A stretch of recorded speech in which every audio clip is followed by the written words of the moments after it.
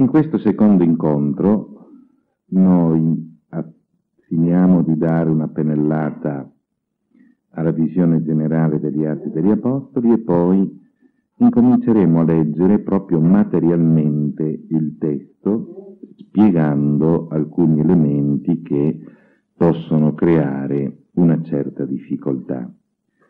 Naturalmente certe difficoltà nascono non dal testo stesso, ma dalla comparazione fra i testi. È giusto che noi cristiani riusciamo anche a capire che ci sono nei testi biblici alcune apparenti discordanze e dobbiamo cercare di capire perché esistono queste discordanze. Ripeto, sono solo apparenti, ma di fatto possono anche impressionare. Allora, vediamo alla linea 26, dopo l'introduzione che abbiamo fatto l'altra volta, adesso facciamo una sintesi. Ci sono due modi per analizzare questo testo nel suo insieme e questi due modi mi danno un certo risultato. Il primo è il cosiddetto, la cosiddetta struttura semantica del testo, cioè cerchiamo il significato. Il secondo, invece, si adoperano criteri di tipo puramente narrativo-teologico, cioè come viene narrato, quali sono i contenuti più importanti. Ora, alla linea 27 voi notate che c'è un'introduzione, primi 11 versetti, e poi ci sono, diciamo, delle corrispondenze. Alla linea 29 voi trovate la chiesa di Gerusalemme guidata da Pietro. Sono più o meno i primi sette capitoli. Alla linea 33 voi trovate Paolo come testimone di Cristo, sappiamo che subito dopo ci dovrebbe essere il martirio. A specchio, scendendo e salendo di un gradino, noi troviamo alla linea 30 le prime missioni della Chiesa, mentre alla linea 32 troviamo le missioni in Macedonia, Grecia e Asia Minore. Al centro si colloca il Concilio Ecumenico di Gerusalemme. Sembra dunque che Luca, nella sua stesura finale, abbia voluto in qualche maniera porre proprio quasi al centro geografico del libro questo incontro tra i grandi personaggi della Chiesa nascente, i quali, pur partendo da posizioni diverse, sono riusciti a trovare il punto di convergenza, non tanto con una specie di compromesso politico, quanto piuttosto cercando di ragionare sul dato più vero, così come emergeva dagli avvenimenti. Questo dunque è una visione, chiamiamola strutturalistica, di significato, cioè che significato ha una parola. E noi riusciamo a trovare il significato della parola attraverso determinate tecniche comparative. Ma guardate che lo stesso discorso si può fare di un libro. Che significato ha il libro? Si adoperano altre tecniche proprio per poter dire il libro nel suo insieme ha questo tipo di eh, perno significativo. Mediati degli Apostoli, se noi applichiamo queste regole, che non sto a spiegarvi perché a nessuno piace fare metodologia, ma soprattutto a nessuno piace ascoltarla, perché è una rottura. Come si suol dire da noi, è come ciucciar cadenassi. Però una volta che si impara certa, un certo metodo, poi si ottengono ottimi risultati. Nel caso concreto, se noi applichiamo queste regole, dunque vediamo che stranamente il centro degli atti degli apostoli non è la missione, ma è il concilio. Se noi invece scegliamo un'altra metodologia, Quest'altra metodologia mi dà quest'altro risultato. Siamo alla linea 35. Gli atti degli Apostoli si spaccano in due blocchi abbastanza equivalenti. Il primo blocco parla del cristianesimo primitivo nel mondo ebraico e ci presenta la figura di Pietro e arriva fino al capitolo 15, cioè fino al concilio di Gerusalemme. La seconda parte invece degli atti presenta il cristianesimo nel mondo pagano e la figura dominante è Paolo. Questa visione degli Atti degli Apostoli è quella classica, quella che ci viene addirittura dall'esegesi del 1800. È un fondamento molto buono. Certamente conoscere tutte e due le prospettive significa essere leggermente più ricchi. Se voi notate, sotto i due blocchi, Pietro da una parte e Paolo dall'altra, io vi ho messo 19 sommari. Cosa sono questi sommari? Ne abbiamo accennato già l'altra volta. Sono brevissimi testi, sono due, tre righe, quattro, in cui Luca cerca di riassumere brevemente quelli che erano i parametri generali di vita del cristianesimo nascente. Se voi notate ce ne sono ben 14 nella prima parte e ce ne sono appena 5 nella seconda parte. Per quale motivo? Noi sappiamo che Luca è un cristiano della seconda generazione non è un cristiano che ha conosciuto direttamente Gesù Cristo. Lui non ha tante documentazioni della Chiesa nascente. Quelle poche che ha le scrive, però si accorge che sono poca cosa nei confronti di ciò che ci sarebbe stato bisogno di conoscere. E allora riempie questi vuoti informativi con quello che poteva essere la testimonianza dello stile di vita che i vecchi cristiani della prima generazione erano soliti ripetere. Classico delle civiltà orali. Provate ad ascoltare i nostri vecchi. Ai nostri tempi si faceva così, ai nostri tempi si faceva colà. Ma non è che narrino troppi fatti. Danno quei sommari, i nostri vecchi, per dire Qual era il comportamento? Non che stiano a spiegare gli avvenimenti. Dicevano, noi ci comportavamo in questa maniera. Luca prende nota e infila dentro al testo questi ricordi della prima generazione cristiana. Manca la narrazione degli avvenimenti, però lui testimonia queste forme di eh, eh garanzia di come fosse il cristianesimo appena nato. Ecco perché ne troviamo tanti nella prima parte.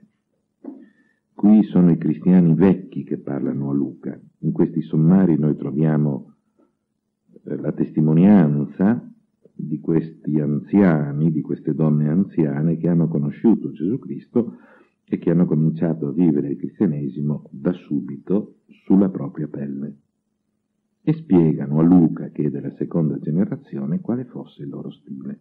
Lui prende nota e poi lo trascrive. Il fatto invece che noi abbiamo pochissimi eh, sommari nella seconda parte è dovuto al fatto che la seconda parte, narrando le vicende di Paolo e sapendo che Luca è compagno di viaggio di Paolo, Paolo scrive la propria esperienza. Non ha bisogno di fare eccessivi sommari, non ha bisogno di dire ai miei tempi si faceva così, perché lui quando scrive, beh, quelli sono i suoi tempi. Quindi non ha bisogno di dire noi quando eravamo giovani ci comportavamo in una certa maniera.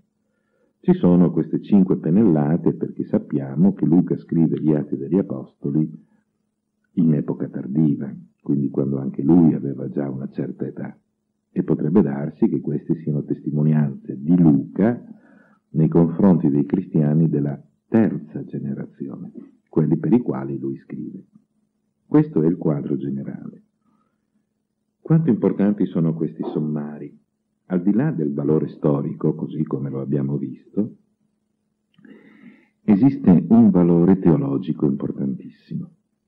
Noi eh, pian piano non li faremo tutti, prenderemo in considerazione alcuni, in maniera particolare quelli che vi ho sottolineato, cioè il terzo, il quinto e il sesto.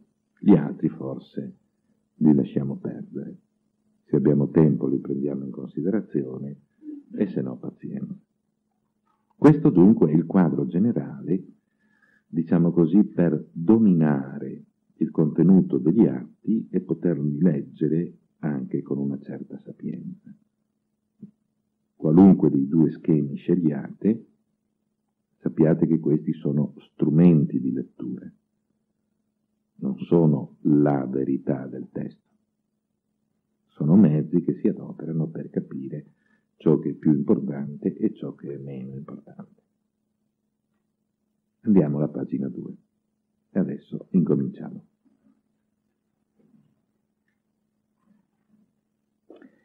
Noi, la volta scorsa, abbiamo preso in considerazione i primi due versetti, dove abbiamo scoperto che c'è lo stesso destinatario, abbiamo più o meno scoperto che l'opera di Luca degli Atti è legata al Vangelo, oggi incominciamo a prendere contatto con i testi, con il significato e il contenuto dei testi, ma anche con le problematiche dei testi. Siamo alla linea 37.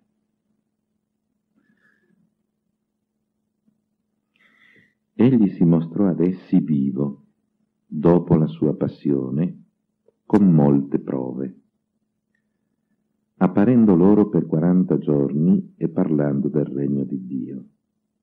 Mentre si trovava a tavola con essi, ordinò loro di non allontanarsi da Gerusalemme, ma di attendere che si adempisse la promessa del Padre. Quella disse che voi avete udito da me. Giovanni ha battezzato con acqua, voi invece sarete battezzati in Spirito Santo fra non molti giorni. Di fronte a un brano così semplice, noi ci chiediamo dove stanno le difficoltà. Ce ne sono tante.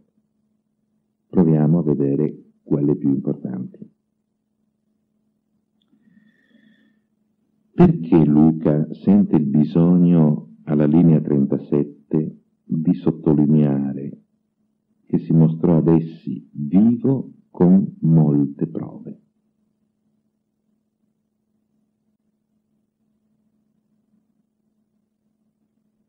Dunque, proviamo a guardare il vocabolario usato da Luca e forse cominciamo a trovare pian piano le risposte. Alla linea 42, parestesen,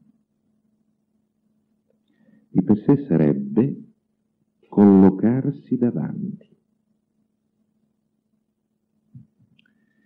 Tu stai camminando e qualcuno dal lato della strada ti si mette davanti. Questo è più o meno il valore del verbo. Quindi più che apparire, il verbo indica qualche cosa che ti intralcia il cammino, che ti obbliga che ti obbliga a misurarti con questa realtà, che ti si para davanti. E quindi noi potremmo dire così, più che egli si mostrò ad essi, egli si parò davanti ad essi, nel senso che li ha obbligati a prendere contatto con questo dato. Non è stata l'apparizione della Madonna, che se tu vuoi la guardi, se no fai a meno, ma è un apparire che sei costretto a vedere. Questo indica il testo, perché altrimenti non vai avanti.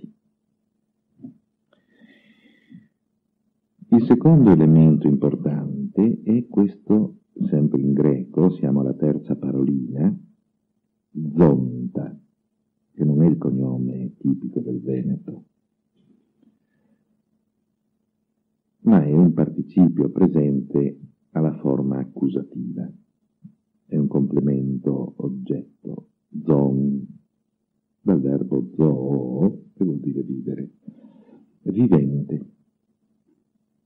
Ora, quando noi esaminiamo i testi, dobbiamo stare attentissimi ai tempi dei verbi. Questo è un participio presente.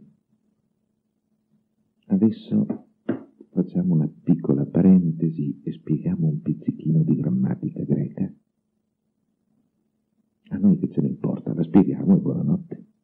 Poi vogliamo imparare greco, va benissimo. Non vogliamo impararlo, si va in paradiso lo stesso. Nel mondo greco esistono due tempi per indicare un'azione. Se io adopero un tempo, dico che l'azione io la vedo adesso, ma si prolungherà all'infinito. È un tempo lineare. Se io adopero un alto tempo, vuol dire che io testimonio che adesso l'azione c'è, ma non ti garantisco se l'azione c'era prima e se l'azione continuerà dopo. Non lo so. Quando io adopero un participio, è molto importante sapere quali dei due tempi vengono adoperati. Se io adopero un tempo presente, garantisco che l'azione c'è ed è lineare, continuerà per sempre. Se invece intendo dire non mi pronuncio su prima, non mi pronuncio su dopo, garantisco che adesso c'è, questa si chiama azione puntuale e adopero il participio aoristo. Qualcuno di voi ricorderà che l'aoristo è un tempo storico, reminiscenze del vecchio liceo. Però attenzione, è tempo storico lì dove ha l'aumento, cioè ha qualche cosa che si aggiunge all'inizio del verbo. La vocale che incomincia il verbo viene allungata, o se il verbo incomincia per consonante, si rifila davanti una epsilon. Ma lì dove l'auristo non ha l'aumento, come nel participio, non ha più valore di tempo passato, ma indica la qualità e basta dell'azione. Se Luca avesse voluto dire questo è un tizio che era vivo, ma poi sarebbe morto, avrebbe adoperato l'auristo. Qui invece adopera il presente.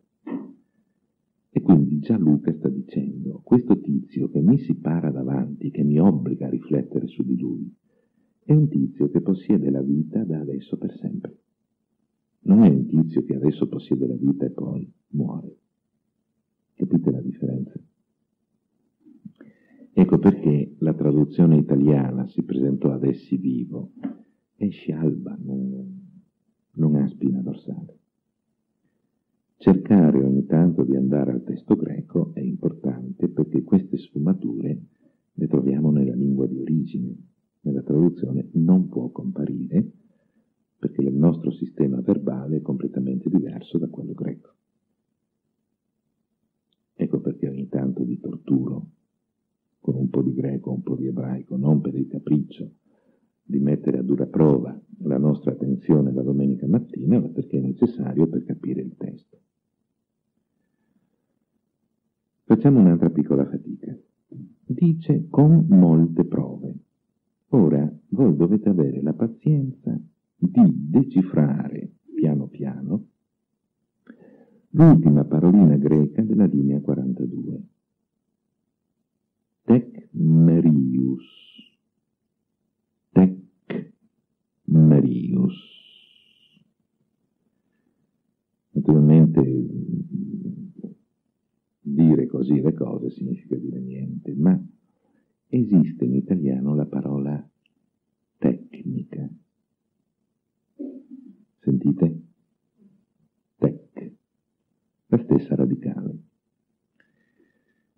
Cosa vuol dire tecnica in italiano?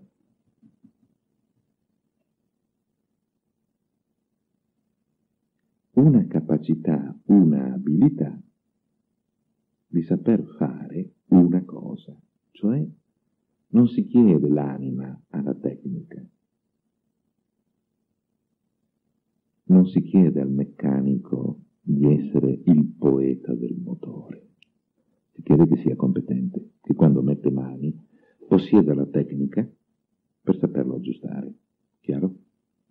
Dunque la tecnica è ciò che noi potremmo chiamare il dato oggettivo. La poesia è il dato soggettivo, la tecnica è il dato oggettivo. Questa tecmeriois sarebbe quelle parti oggettive dell'esperienza che si fa di questo tizio che vive per sempre. Cioè esperienze oggettive, quindi trasmissibili, non sono impressioni, ma sono dati. Mi spiego? Per questo in italiano hanno tradotto con la espressione con molte prove. Le prove sono qualche cosa che si possono controllare, perdon, mangiava, toccava, parlava, diceva qualche parolaccia. Le mogli provino a dire al proprio marito stolto e tardo di cuore, poi vedete che reazione ha vostro marito. Voi provate a dire alle vostre mogli stolta e tarda di cuore, ti arriva un cefone. Sì?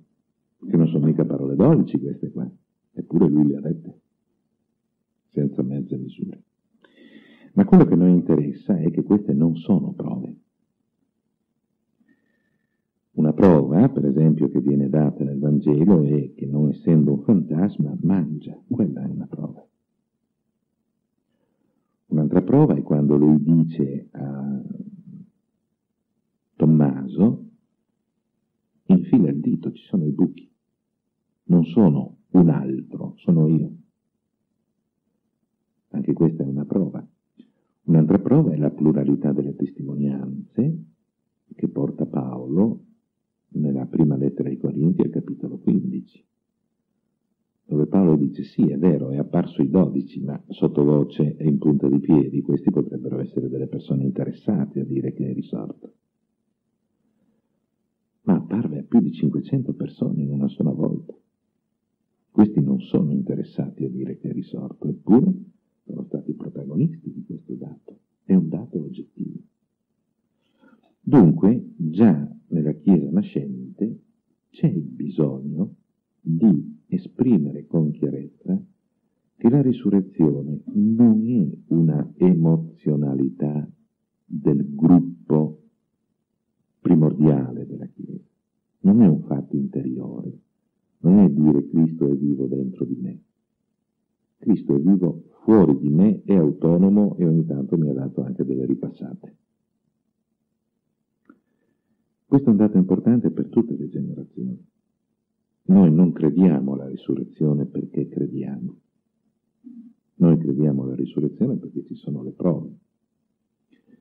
Queste prove non hanno la valenza storica che oggi la scienza storica dà alle prove. Noi diciamo ci sono le cosiddette prove di ricaduta. Mi spiego. Se c'è una realtà invisibile e c'è una realtà visibile, concreta e sperimentabile. E questa realtà visibile, concreta e sperimentabile dialoga con la realtà invisibile. Io non vedo la realtà invisibile, ma constato che queste persone dialogano. Verifico se sono sane di mente, verifico se sono veri o falsi, cioè se dicono le bugie o sono persone veritiere, dopodiché il problema è finito. Se dico queste persone sono sincere, sono sane di mente, io ho una prova che c'è qualche cosa anche se non l'ho vista. Se c'è un manto di neve e vedo che ci sono delle orme, dico qualcuno è passato. Io non l'ho visto passare, ma ho visto le conseguenze del suo passaggio, cioè le orme. Noi ci troviamo di fronte a questo tipo di prove.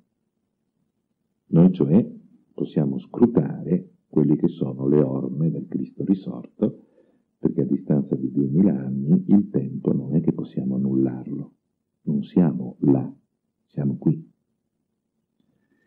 Ed è l'unica cosa che possiamo fare, trovare le tracce. E tracce ci sono e sono abbondanti. Quando faremo un corso sulla resurrezione, otto incontri sulla resurrezione, allora parleremo anche di questo. Secondo elemento che crea una certa difficoltà in questo racconto sono questi 40 giorni. Perché crea difficoltà questi 40 giorni? Prendete il Vangelo di Luca.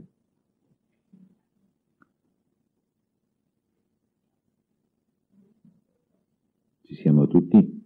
Luca capitolo 24. Guardate che quella che stiamo facendo è un'esegesi veloce. Quindi non dite sono stata una lezione di esegesi. No, l'esegesi è più perfida. Siamo al capitolo 24 di Luca, andate al versetto 1. Il primo giorno della settimana, cioè